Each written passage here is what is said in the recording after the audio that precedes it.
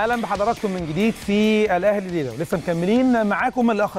آخر الأخبار اللي موجودة. قبل الفاصل قلت لحضراتكم خبر على محمد صلاح. آه إنه بينافس 14 لاعب للدخول في التشكيل المثالي للفيفا.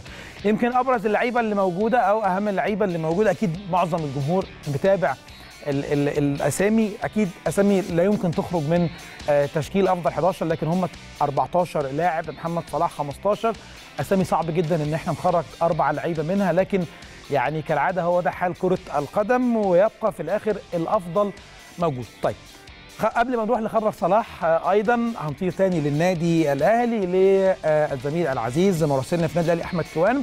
علشان هيكون معاه الأستاذ طارق انديل علشان نتكلم معاه في بعض الأمور الخاصة بلائحة النادي الأهلي اللي إن شاء الله هيكون تصويت عليها يوم 28 أحمد برحب بيك من جديد. الأخبار اللي داخل النادي الأهلي من تدريبات وأيضا اعتماد تعديلات اللائحة فبشكرك شكرا جزيلا ودايما موجود معانا على شاشة قناة النادي الأهلي. لسه مكملين مع حضراتكم في خبر محمد صلاح. لكل ما نتكلم فيه نطلع للتقرير لكن هقول لحضراتكم سريعا أبرز الأسماء اللي موجودة لاختيار أفضل 11 لاعب في عام 2018 ده من قبل الاتحاد الدولي لكرة القدم لتسليم جائزة The Best أفضل ثلاث لعيبة في العالم مودريتش ورونالدو ومحمد صلاح. لكن لو هنتكلم على اللعيبة بنتكلم طبعا على جريزمان وإمبابي من منتخب فرنسا كريم بنزيما اللي مش موجود مع المنتخب لكنه متألق مع نادي ريال مدريد وبالتالي هو من ضمن الأسماء المطروحة في قائمة أفضل 11 لاعب. وكافاني ولويس سواريز. أما من بلجيكا لوكاكو وطبعا مانزوكيتش من كرواتيا وميسي وديبالا. يعني أنا بالنسبة لي ديبالا أكيد طبعا بعد مستواه المميز في يوفنتوس أكيد طبعا واحد من اللعيبة المرشحة بقوة لكن مع منتخب الأرجنتين موضوع ماشي معاه بشكل سيء جدا وحظه وحش جدا مع منتخب الأرجنتين حتى بعد يعني غياب ليونيل ميسي عن المنتخب في الفترة الأخيرة حتى كمان لما مش بيكون موجود ديبالا موجود على مقاعد البدلاء وليفاندوفسكي وهاري كين ونيمار. آه نيمار طبعا يعني آه ما اعتقدش يعني مش عارف هل هيتم اختيار نيمار. نيمار كان قضى فترة طويلة جدا مصاب ما قدرش إنه يكمل الموسم بعد مباراة ريال مدريد في دوري أبطال أوروبا ضد باريس سان جيرمان في دور 16 كمان أداؤه ما كانش جيد مع المنتخب البرازيلي لكن هنشوف اختيارات الفيفا. و رونالدو وساديو ماني. اما حراس المرمى؟ في خمس حراس مرمى أكيد هيتم اختيار أفضل حارس منهم. اثنين من ريال مدريد المنتقل حديثا من تشيلسي كورتوا ونافاس الحارس الأساسي لفريق ريال مدريد. أما اللي طبعا اللقب اللي هيتم اللي إن شاء الله يعني يكون نصيب محمد صلاح. أكيد كل شيء ممكن لكن وصول محمد صلاح ل يعني أفضل ثلاث لعيبة. في العالم. ده إنجاز ما كناش نحلم بيه ما كناش نبقى عايشين ولا موجودين ولا اللحظة دي. كنا نحلم بيها إن يكون لاعب مصري عربي موجود ضمن أفضل ثلاث لعيبة في العالم. محمد صلاح طبعا ورونالدو ومودريتش. معانا تقرير من سيادة السفير الفرنسي بالقاهرة علشان يقول رأيه في وجود محمد صلاح ضمن أفضل ثلاث لعيبة. وكمان إيه فرصه في التتويج باللقب هنروح ونشوف ونتابع التقرير ونرجع نكمل مع حضراتكم. Merci beaucoup, cher Ahmed. شكرا جزيلا اولا أنا سعيد جدا بحديثي معكم على قناة الأهلي اليوم. نروح لقرعة دور الادوار التمهيدية الثلاثة لبطولة كأس مصر اجريت اليوم. الاثنين كان في قرعة اليوم خاصة بكأس مصر قرعة الادوار التمهيدية المتبقية لبطولة كأس مصر هذا الموسم علشان يتم تحديد 14 فريق ينضموا إلى فرق الدوري الممتاز ال 18 علشان يشكلوا مع عشان يشكلوا مع بعض 32 للبطولة. وطبعا طبعا الأدوار التمهيدية شارك فيها 112 فريق من أندية الأقسام الثاني والثالث والرابع. لعبوا 56 مباراة بنظام خروج الخاسر.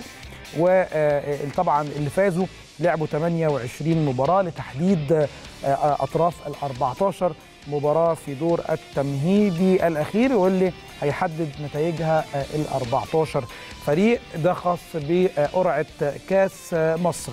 نرجع تاني لمحمد صلاح. محمد صلاح غادر صباح اليوم من القاهرة متجه إلى إنجلترا. علشان ينضم إلى نادي ليفربول الاستعداد إلى أو في الدوري الإنجليزي. طبعا إحنا يعني جمهور الكوره دايما الفيفا dates بالنسبة له بتكون أزمة كبيرة جدا. بنتحرم من دوريات قوية جدا بنتحرم من الدوري الإسباني والإيطالي والإنجليزي.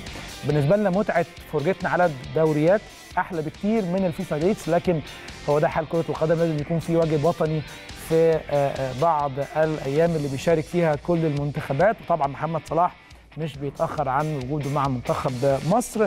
محمد صلاح سافر الصبح كمان. لحق بيه كل لاعبتنا المحترفين. يعني محمد صلاح هو اللي لحق طائرة الصبح. بعد كده سافر في الطيارة اللي بعديها طول المحمدي وحجازي. وكان رمضان صبحي طبعا موجود في القاهرة. كان عنده إصابة اللي منعته من من الانضمام إلى منتخب مصر لكنه سافر علشان يكمل علاجه مع فريق هادرسفيلد في إنجلترا. أكيد طبعا يعني كل لاعبتنا في الدوري الإنجليزي بنتمنى لهم التوفيق وأكيد طبعا محمد النني اللي شارك مع منتخب مصر وأحرز الهدف السادس. يعني أكيد مباراة كانت كويسة في صالح محمد النني مش بيشارك مع فريق أرسنال ما عندوش فرصة إن هو يثبت ذاته. كان موجود مع منتخب مصر. شفنا بعد بقى إيه يعني مستر أجاري غير بعض شكل الهجومي للاعيبة منتخب مصر. شفنا النني بشكل كبير شفناه بيسجل أهداف بيهاجم بيشوط. كان قبل كده موضوع الشوط عندنا صعب جدا ما كانش في حد بيشوط كان نادرا لما كنا بنروح بالكورة بالجون لكن ست أهداف أعتقد إن يعني النتيجه طيبة. آه الجمهور عنده رأيين. رأي بيقول لسه بدري عشان نحكم على مستر اجاري ورأي الثاني بيقول لأ ده شكل مقبول لمنتخب مصر وإحنا متفائلين. أنا بأيد الراي الأول طبعا لكن الرأي الثاني أكيد بتفق يعني يعني أكيد متفق مع بعض الشيء لكن نتبسط بمباراة النيجر نتبسط بست أهداف من خم يعني من فترة طويلة جدا منتخب مصر ما فازش بمباراة 6-0 كمان عندنا يعني تصفيات طويلة جدا أكيد مباراة تونس هي اللي هتكون الحاسم الأكبر لمستر اجاري مع منتخب مصر. دايما خلينا متفائلين يعني نفرح باللحظة اللي إحنا عايشينها دلوقتي 6-0 خلاص نفرح بيهم. آه منتخب مصر قدر بشكل جيد جدا تغيير الدماء اللي موجوده الاعتماد على معدل أعمار سني صغير وهربط موضوع ربط الأعمار بوجود أحمد فتحي من عدمه في المنتخب الفترة اللي جاية. في كلام كتير اتقال على لسان مستر اجاري وعلى لسان الكابتن هاني رمزي إن أحمد فتحي مش هيتم الاعتماد عليه في الفترة القادمة. الكلام ده كابتن هاني رمزي نفاه تماما وقال إن بالعكس أحمد فتحي هو في الصورة بشكل كبير بيلعب مع النادي الأهلي بشكل أساسي كابتن منتخب مصر. يعني دايما كرة القدم أكيد زي ما السن ليه علاقة وليه دور لكن المجهود داخل الملعب هو الفيصل ما بيني وما بين المدير الفني. المدير الفني ممكن يقول لي أنت عندك 30 سنة لكن مجهودك البدني قل. ممكن لاعب تاني يكون عنده 34 سنة 35 سنة لكن المجهود داخل الملعب يعني جبار. هناخد على سبيل المثال مثل بعيد شوية لكن هو هنربطه بموضوع السن. بنتكلم على رونالدو. رونالدو 33 سنة ماشي في 34 سنة بينتقل من ريال مدريد إلى نادي يوفنتوس. بينتقل من نادي قوي لنادي قوي علشان يبدأ مسيرة جديدة عشان يبدأ آآ آآ تحطيم أرقام قياسية جديدة. وبالتالي كابتن هاني رمزي قال إن أحمد فتحي في الصورة ومن القوام الأساسي للمنتخب في تصفيات منتخب مصر لأمم أفريقيا بالكاميرون 2019 لكنه كمان كان في تصريح خاص بعبد الشافي أو الكابتن محمد عبد الشافي إن هو بعيد تماما عن صورة المنتخب في الفترة القادمة لكن كل شيء وارد. لكن أنا بربط لحضراتكم عامل السن بوجود أحمد فتحي. أحمد فتحي بسم الله ما شاء الله كلنا شفناه في المباراة الأخيرة الأفريقية بي يعني بيمينه بيلعب بشماله بيلعب نص الملعب بيلعب back right بيلعب مساك بيلعب أي مركز بيبقى موجود فيه. أكيد طبعا أحمد فتحي واحد من القوة ضربه للمنتخب الوطني. آه علي غزال آه آه لاعب منتخب مصر لم أتوقع العودة للمنتخب واجري حقق لي حلم. علي غزال مش هتكلم مع حضراتكم سريعا في كل الكلام اللي قاله لكن هتكلم معاكم يعني يعني كلاعب كرة قدم سابق وعندي بعض الرؤية اللي موجودة في تجربة علي غزال. علي غزال لاعب عنده يعني يعني لاعب عنده أمل لاعب مش بيستسلم بسهولة موجود لحد دلوقتي وبيعافر وبيشارك سواء في الصين سواء في الدوري البرتغالي سواء في أمريكا. راجل بيلعب بشكل أساسي. راجل تم إعادة توظيفه يعني أنا ممكن أشوف لاعب كرة قدم بيلعب مساك على سبيل المثال. أنا تكون عندي نظرة إن اللاعب ده لو موجود في المركز ده مع منتخب بلاده هيبقى أحسن بكتير من المركز اللي بيلعب بيه أو بيلعب فيه مع ناديه.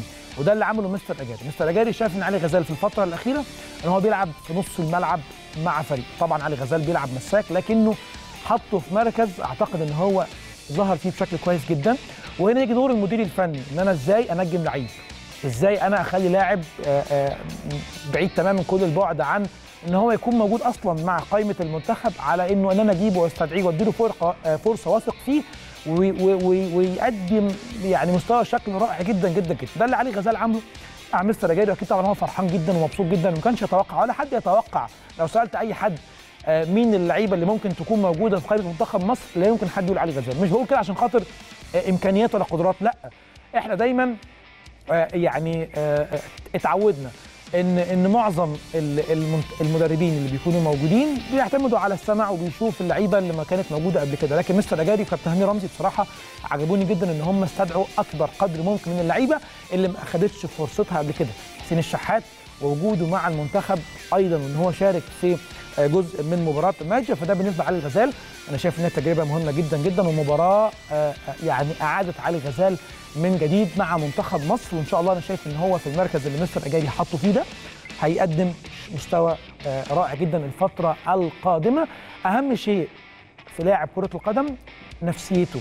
لو نفسيته المدرب عرف يتعامل معاه بشكل جيد جدا ورائع جدا هيعرف يطلع كل الإمكانيات اللي عنده داخل المستطيل الأخضر.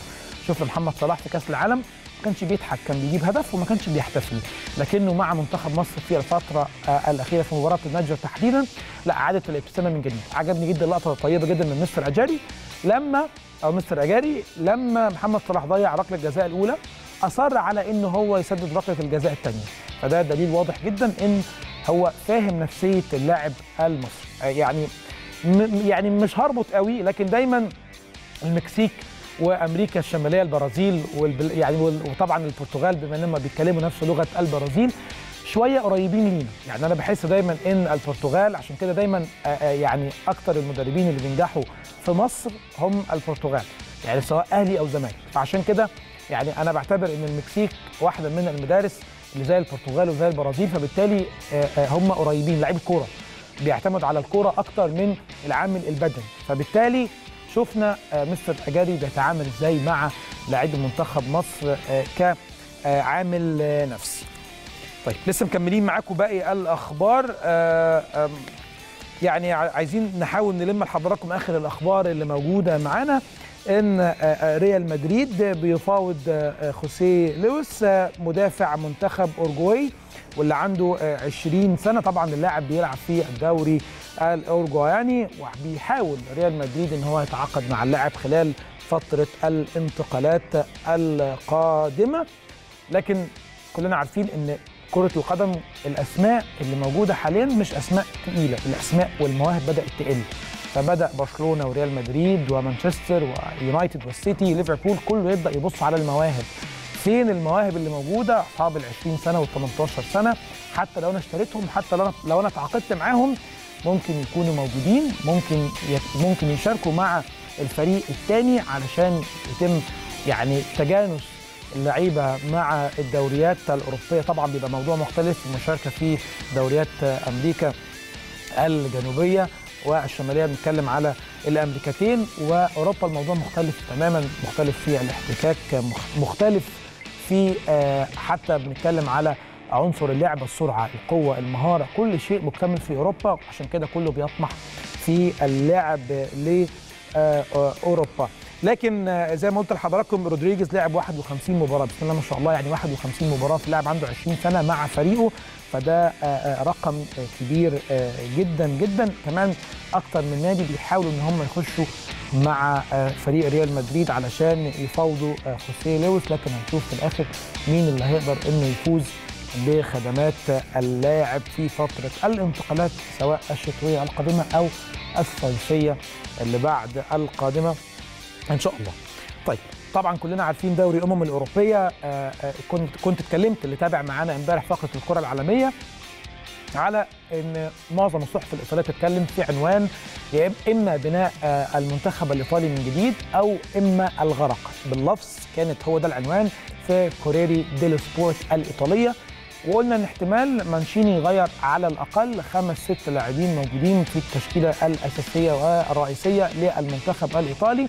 طبعا إيموبيلي لاعب لاتسيو والمهاجم هداف الدوري الإيطالي. أبرز ده كان من أبرز الأسماء اللي المفروض تكون موجودة في تشكيلة منتخب إيطاليا أمام المنتخب البرتغالي. رونالدو في آه، مواجهة إيطاليا مواجهة تكون قوية جدا جدا.